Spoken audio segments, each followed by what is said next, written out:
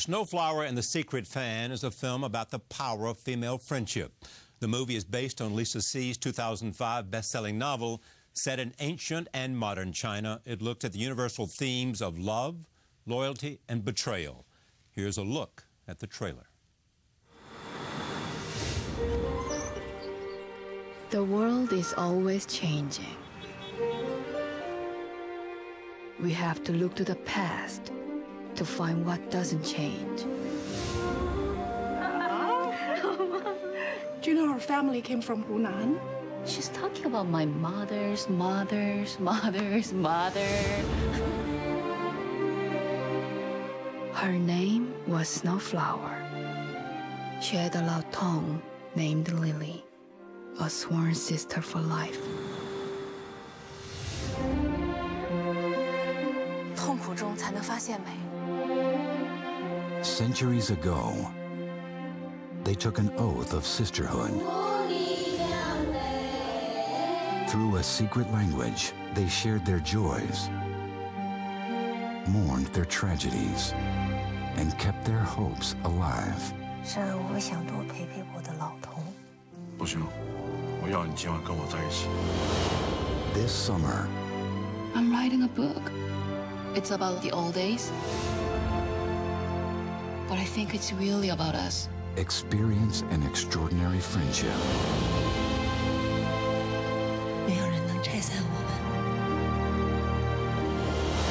That is strong enough to last lifetimes. Our destinies are tied forever. Fox Searchlight Pictures presents. We will be Lao Tong sisters for 10,000 years. Snow Flower and the Secret Fan. Joining me now, Wendi Murdoch, the producer of the film, director Wayne Wang, and actress Li Bingbing. I am pleased to have all of them here to talk about this film. How did you come to be a producer of a film? How did this happen? This happened because a few years ago, I read Lisa See's book, and I really love the book, and I can relate to the characters in the book. Because, Because? I grew up in mainland China in a very small town, very poor, and we have no hot water. My grandmother died at childbirth. My mother's auntie lived with us. She had a little bun face, similar to the woman in the film, who has no um, education and not allowed to go to school and have arranged marriage and she lived with us so i know the chinese woman's story really moving and um, so we bought a right we You, produced you agree with me? It's, a story about love and loyalty and betrayal. yes You know. So then you and Florence Sloan, Yes. you know, co-producers. yes she's my uh, friend and a partner in this film So you go hire a director. yes Why did you hire Wayne? because we love Wayne's film. Uh, I remember very clearly when I watched The Joy Luck Club, it made me cry, and I watched it. Also, we want this film not just show in China, the Chinese film. We also want this film show international. And Wayne is international best-known director. He knows to say that story. Quite often, you see a lot of good Chinese film, big box office, 100 million dollars in China, in China only. Mm. But when it come here, it's almost No, nothing. no box office. Yeah. Yeah. so- You added something to this film that was not in the book, which is so-called, you updated it and gave it a 21st century frame. Right. What did you do and why? Because I know modern China a little bit. I've been to Shanghai and Beijing, and I really wanted to have a modern day story that also tells, you know, about love, loyalty, and friendship uh, in a way that can bounce off of the um, uh, period story. I didn't want people going away thinking Chinese um, is still binding feet and this And, all and in this fact, there was some historical stuff. controversy about that. In fact, I'm Yes. told that there was some sense that you did, they did not want you to give the appearance in this film that that's what China was about today, and we all know that. Well, they don't want to just show that part of it, um, you know, because China has changed. China is more than, you know, just binding feet, even in, in, in its history. But today, Chinese, China is very, very different. I mean, so that's why they, you know, Traditional and modern. yeah, traditional and modern. Yeah. And I just feel like, you know, for me, I'm more interested in the uh, in the contemporary. I, I go to Shanghai and I think it's this is New York City on steroids. So, so you so you show a modern uh, friendship in Shanghai, of which one of the two members of the friendship is writing a book based Yes. on about what happened. Right. Yeah. How do you see this story? And tell us who your character is. Uh, in this story, I play two roles, and I play ancient part of uh, uh, Lily, and I play the modern part of Nina. Right. And I really love the relationship between the two girls. It's very subtle and it's really special. And I do believe this kind of emotion in this life is really, really tough. What's the nature of this friendship between these two? They met at seven years old. Uh, yes.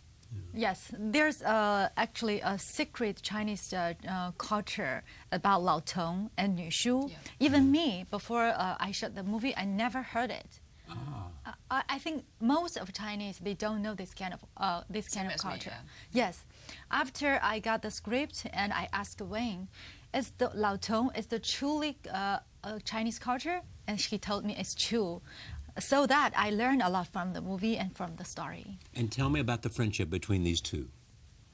Oh, like Wendi said, in the ancient part, you know, the women, they don't have the uh, privilege. They cannot choose their life by themselves. They cannot be what they want to be. They have arranged uh, marriage. They, they have no choice. They just, uh, mm, they, they were just uh, arranged.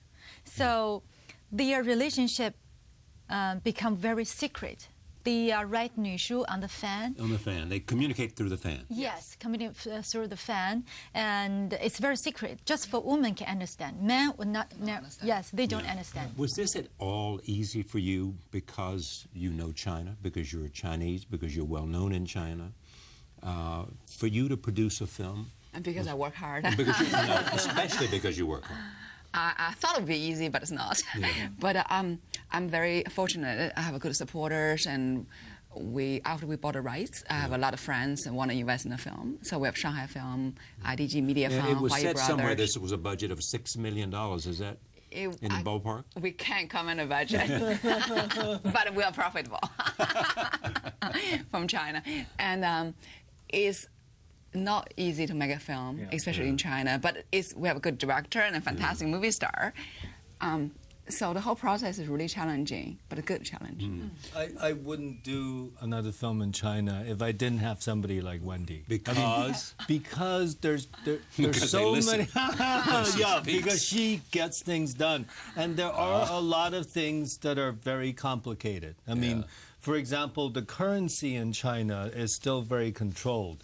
And so it's very hard to manipulate you know how to get people even paid every week you know like we're used to it here every friday the crew gets paid over there it's it's you know, Mm. more ambiguous and, and to get the currency, to get the cash, to do this and all that is very, very complicated. Right. American films are very popular in China, and as you said, Chinese popular. films have not had an audience. Yeah. Do you think that's going to change? I think the people, no matter Chinese or American, they always love good films, and Chinese people love Chinese good Chinese film or good American films. But I hope through what I'm doing with making Chinese stories being told internationally, also China is such a hot topic. I do think other filmmakers will go to China and make films, mm-hmm. and that will translate to the West. It's been a remarkable life for you. I mean, you were very poor, It's okay. very poor. Yeah. Yes. Oh, yes. I mean, no one understands even how poor you were. Yeah, but everybody's poor in China. When I was little, we didn't know we were poor. This has been an extraordinary life. I mean, you, in a sense that Yes. you came to the United States, got an education, Yeah. went to Yale, went to work for Star, met Rupert Murdoch, got married, have Yeah. two children. What is it about China you want us to know? I love China. We have a house in Beijing. I really love. Um, Belong to a former mayor. Charlie been to our house. Uh, he saw China when I uh, yeah, dinner there. how I was there, right. But um, as a Chinese, when I'm traveling with my husband or uh, alone, everybody around the world um, asks me about China. What's happening there? We're all what's fascinated going by where on China there? is yeah. because of its strength and its power and its. Yeah, and uh, because um, they don't understand a lot of things in China, so that's why through this movie you actually understand a bit more about Chinese culture. Also, you know, look at modern Shanghai, what's going on there. Hopefully, encourage you go there to visit. The other thing I'm thinking is that people doesn't matter what culture you live in, what time, and it's human relationships is timeless. How you're dealing with pain, suffering, sacrifice, and happiness, and everything important in life is all the similar. We're basically more similar than different. When you were acting this part, uh, did you reach back in your own mind to friendships you had? Did you think about the meaning of friendship as you brought Lily's story to life? I um, actually I do believe this kind of relationship. I do have a very best friends in my life, uh, who is my roommate when I was in uh, college. We spent four years in the college, and we sep- uh, after graduated we separated. And I went to Beijing to have my career, and she stayed in Shanghai. At the beginning, I always called her and I said, "I miss you. Come to Beijing and live with me. I how can I without you to have to stay in Beijing?" And she just said, "Come back to Shanghai." And we we every day like we connect for on the phone for one hour. It, that's two girls. It's like if you call your boyfriend on phone, uh, it's like one hour, two hours. It's, it's, it's okay, but you call your girlfriend. So I, I even tell her we are we are lesbian. I want We're to laughing? come. Les- Yes, um, lesbian. yeah. Oh, we're lesbians. I'm, I'm kidding. I just uh, really miss her. Yeah. But I, it still really happened in my life. So when I got this script, I just uh, uh, asked Wayne, Mm. I do believe this relationship. And There, I, there is a real power of, of even physical and sexual attraction here. Yes? Mm. Yes, but it's never expressed as a lesbian relationship, so to speak. There is that physicalness, there is the emotional connection, but as she describes it really well, it's like a fourth dimension of love and friendship. Mm. It's something deeper, something you know more complex, and I think it's it's it's quite common with the Chinese women, especially. Does this mean, having gone through this experience, that this is what you want to do, in addition to all the other responsibilities you have as wife and mother, and and, and with the kind of role that you play at News Corp? Uh, I'm serious. Like I'm very lucky. I have Yeah. I mean, you really are, in a sense, somebody who has. I mean, you're more than anyone else, or sort of News Corp's person who's known in China.